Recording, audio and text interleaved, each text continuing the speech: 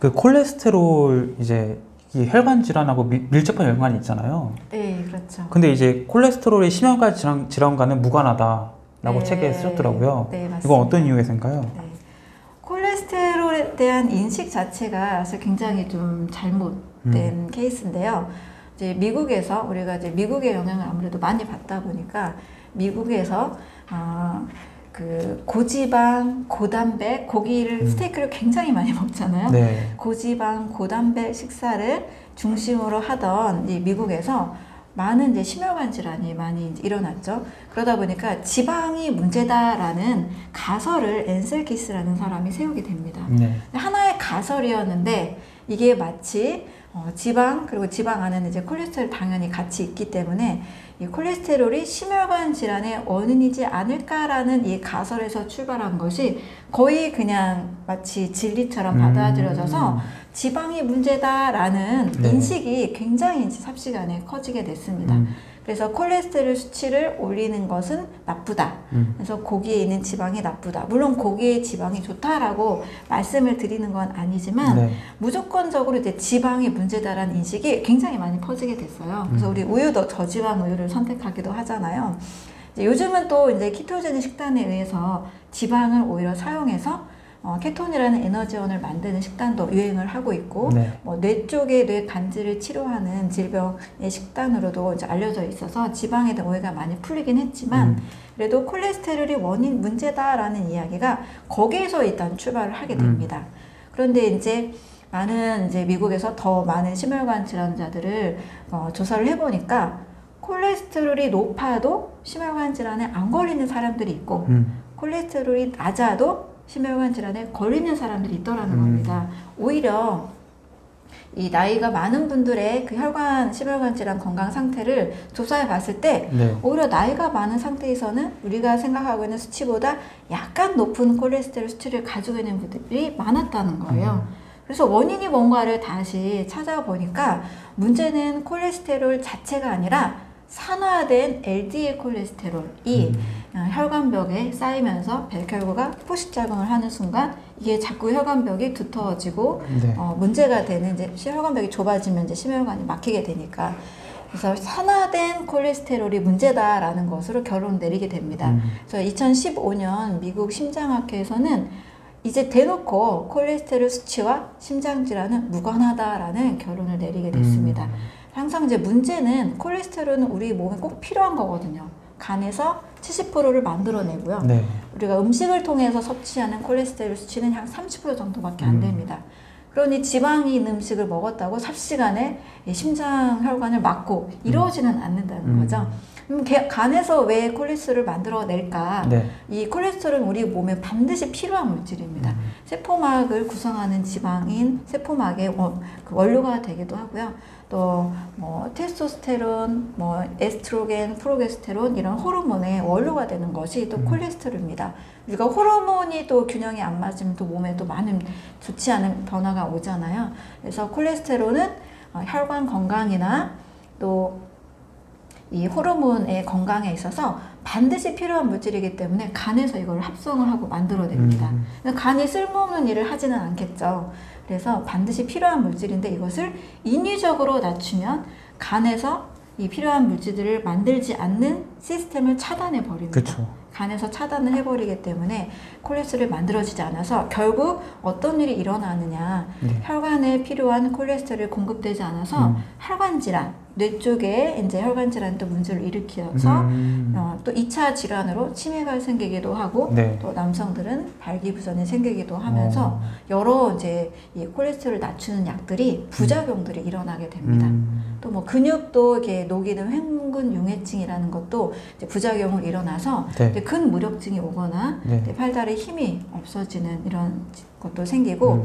또 이제 어, LDL 콜레스테롤이 또 원래 면역력하고도 관련이 있거든요. 네. 이런 것들이 잘 합성이 되지 않아서 면역력이 떨어져서 뭐 방광염이 오기도 하는 음. 이런 2차 질환들이 또 생기기도 합니다. 그러면 또 질환이 생기니까 또 약을 먹게 그쵸. 되고 네. 이런 악순환이 또 생기게 되는 거죠. 음. 그럼 그, 그 말씀을 이제 뭐 계란 노른자, 뭐 오징어 이런 거 우리가 콜레스테롤 좀 잘좀 깊이 했던 물건 네. 네. 음식이 음식이잖아요. 네. 먹어도 된다라는 거죠, 그냥. 그렇죠. 많이 먹어도 되나요, 그럼? 어, 하루에 뭐 지나치게 먹지 않는 이상 네. 음. 어, 내가 만족할 만큼 먹어도 음, 이 음식으로 섭취하는 콜레스테롤이 우리 네. 몸의 콜레스테롤 수치에 큰 영향을 저는 미치지 않는다라는 음. 입장에 가깝습니다. 네. 그 이제 콜레스테롤 중에서 산화된 LDL이 LDL 콜레스테롤이 문제다라고 네. 하셨잖아요. 그럼 왜 산화가 되는 거예요? 아, 산화되는 이유는 네. 우리 몸에서는 산소를 마시면 음. 약2% 정도는 활성산소라는 것으로 바뀌게 됩니다. 네. 어, 산소를 마시면 이제 이산화탄소는 내보내게 되죠. 음. 그런데 이 활성산소가 2% 정도 생기는 것은 굉장히 자연스러워요. 음. 이 활성산소는 우리 몸에서 어, 긍정적인 기능도 하고 부정적인 기능도 하는데 뭐 적정량이 생기는 이 활성산소는 세균이나 바이러스를 공격해서 음. 우리 몸을 더 정화시켜주는 일을 합니다. 근데 문제는 이 활성산소가 과하게 생겼을 때 네. 우리 몸의 건강한 세포, 면역 세포 또 이렇게 콜레스테롤을 산화시키는 일을 합니다. 음. 한마디로 우리 몸에서 해결해야 되는 어, 자연스럽게 만들어지는 내 독소인 셈인 거죠. 이 활성산소가 많이 생기는 환경을 만들 때 바로 염증이 많이 생기고 음. 또 LDL이 산화가 돼서 백혈구가 이렇게 포식작용 하잖아. 이게 바로 음. 염증이 되는 거죠. 음. 근데 몸속 미세 염증들을 많이 늘려가는 것이 바로 활성산소입니다. 음. 그럼 그 활성산소 때문에 우리 몸이 염증에 가득 차 있다. 이건가요? 맞습니다. 맞, 어. 맞아요. 그럼 그 염증을 가득 차 있으면 뭐 줄이거나 네. 네. 없애야 되지 않나요? 그렇죠. 염증을 반드시 해결을 해야 되죠. 우리가 어, 쉽게 뭐 역류성 식도 염 할 때 염도 염증이고 네. 뭐 위염, 음. 뭐 대장염, 뭐 음. 장염 음. 여러 염증성 질환으로 굉장히 많이 고생을 하시는데 큰 문제는 바로 활성산소라는 것이 우리 몸을 공격하는 것이 원인인데 그 이전에 왜 활성산소가 많이 생길까? 네. 이거를 또 해결을 해야 되겠죠. 네. 어, 활성산소는 자연스럽게 생기지만 독소 음식을 많이 먹었을 때 과하게 발생을 합니다. 음. 이 독소 음식이라는 것은 우리 몸에 불필요한 음식 또는 어, 소화가 덜 된 음식의 찌꺼기, 음. 대사산물이 또 독소로 작용하기도 합니다. 네. 음, 한마디로 이제 가공식품을 먹게 되면 우리가 가게 뭐 편의점이나 마트에서 이제 식품 이제 만들어진 식품을 먹게 되면 뒷면에 음. 굉장히 많은 첨가물들이 있어요. 뭐 색소도 있고 뭐 보존제도 있고 뭐 산도 조절제 네. 여러 이 첨가물들이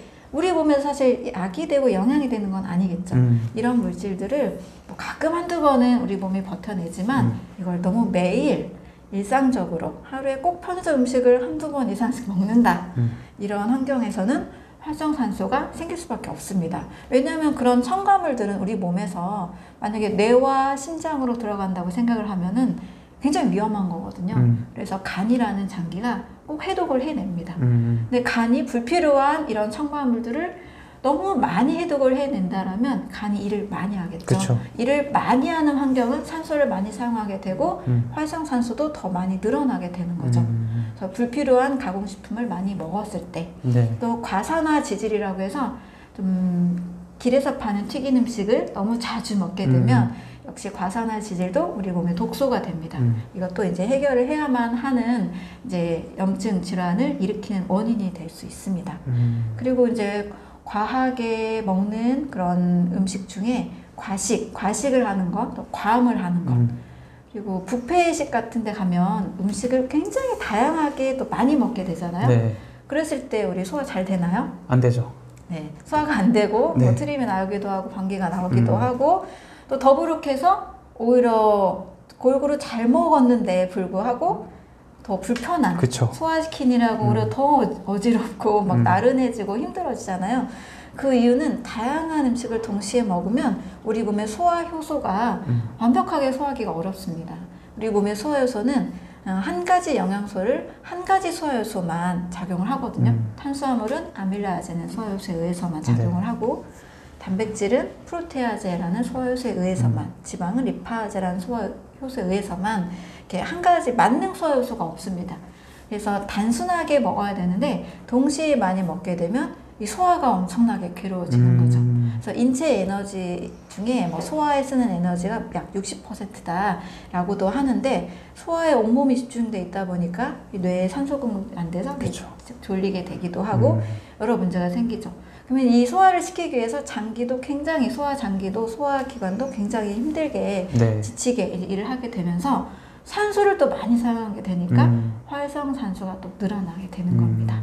그래서 우리 몸에 이 소화로 인해서도 이제 활성산소로 인한 독소가 많이 생기기도 하고 음. 또 단백질이 또 과하게 동물성 단백질을 과하게 먹게 되면 암모니아나 요산 요소, 뭐 인돌, 스카톨 이런 단백질 대사산물이 많이 늘어나게 됩니다. 음. 이것들은 또 직접적으로 굉장한 독성이 강하거든요. 음. 그래서 육식동물조차 이 독성이 오래 머무르지 못하도록 장의 길이가 짧거든요. 음. 그래서 이런 물질들은 빨리빨리 내보내야 되는데 많이 먹고 또 복잡하게 먹을수록 독소가 우리 몸에 많이 차기 때문에 염증이 많이 생기기 쉽죠. 그래서 독소가 되는 음식을 일단 줄여야 음. 염증이 줄고 또 활성산소도 많이 나오지 않아서 음. 건강한 몸을 만들 수가 있습니다.